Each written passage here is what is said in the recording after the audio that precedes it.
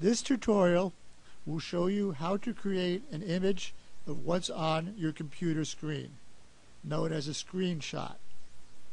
A screenshot can be useful when you want to preserve something that might be changing beyond your control and you want to show it to your client or customer before it does.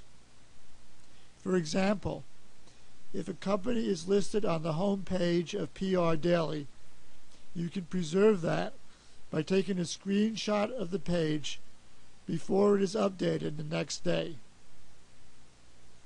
First, you need to find the print screen button on your computer keyboard.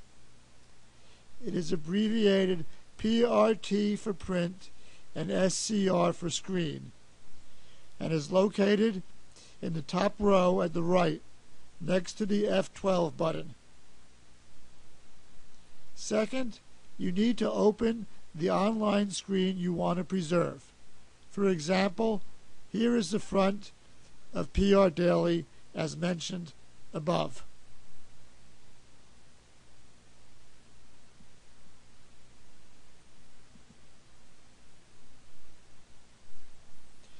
Third, you need to hit the print screen button described above.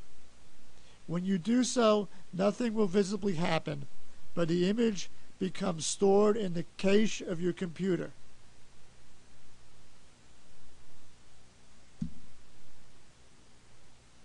Then, if you open a Microsoft Excel file and move the cursor to the top of the first column, you can hit paste or Control V and the screenshot will appear like this.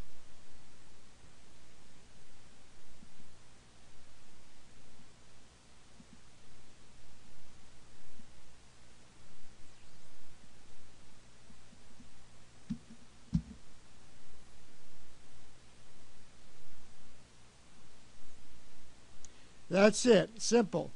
Just save the file with an appropriate title and use it however you wish.